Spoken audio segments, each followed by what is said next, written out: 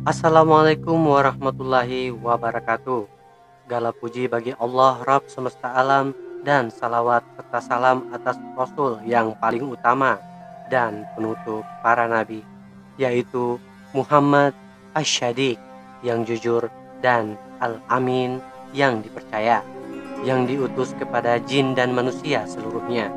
Juga salawat serta salam atas keluarga dan sahabat-sahabat beliau Shallallahu Alaihi Wasallam yang membawa panji-panji agama ini, serta atas orang-orang yang mengikuti mereka dengan cara yang baik dari kalangan para imam dan para pemberi petunjuk, para penyuruh dakwah dan kalangan orang-orang yang bertakwa, serta orang-orang soleh.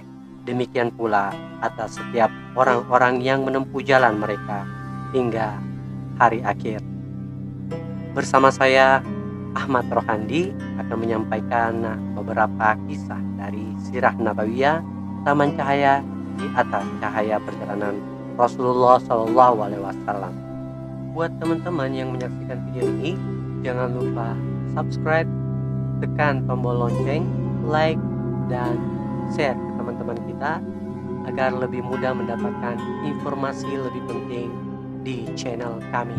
Bismillahirrahmanirrahim berkah di dalam rumah susuan. Berkah benar-benar mengalir ke rumah tangga Halimah semenjak keberadaan Muhammad Shallallahu Alaihi Wasallam di tengah-tengah mereka. Di antara riwayat yang menceritakan berkahnya yakni ketika Halimah datang ke Mekah, di mana hari itu merupakan hari-hari kemarau dan penceklik. Ia mengendarai keledai betina yang sangat lambat jalannya karena kondisinya yang lemah dan kurus. Ia juga memiliki unta betina yang tidak bisa lagi mengeluarkan air susu setetes pun.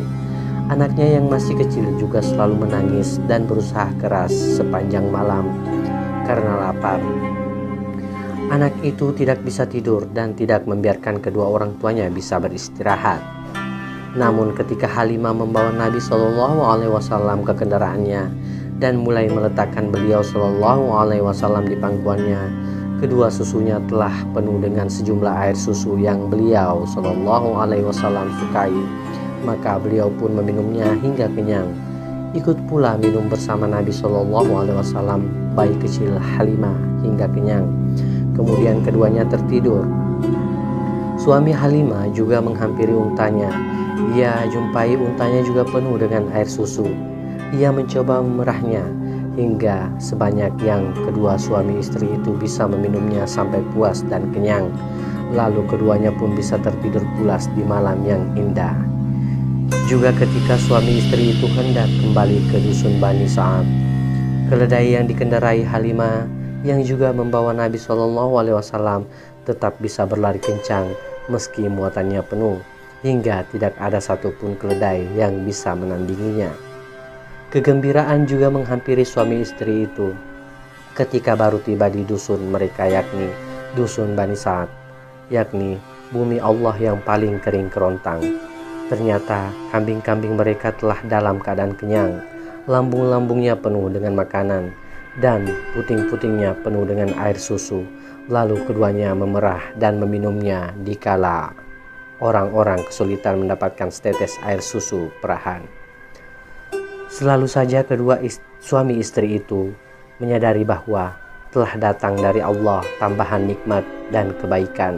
Hingga selesailah masa susuan dan telah lewat masa dua tahun Halimah menyapih Nabi Shallallahu Alaihi Wasallam. Beliau Shallallahu Alaihi Wasallam telah benar-benar dalam kondisi bertambah kuat dan kokoh kala itu. Nah, sahabat yang dirahmati Allah, Demikianlah tadi sepenggal kisah yang kita angkat dari Sirah Nabawiyah Taman Cahaya di atas cahaya perjalanan hidup Rasulullah Shallallahu Alaihi Wasallam yang ditulis oleh Safir Rahman Al Mubarakfuri. Semoga bermanfaat untuk kita semuanya. Assalamualaikum warahmatullahi wabarakatuh.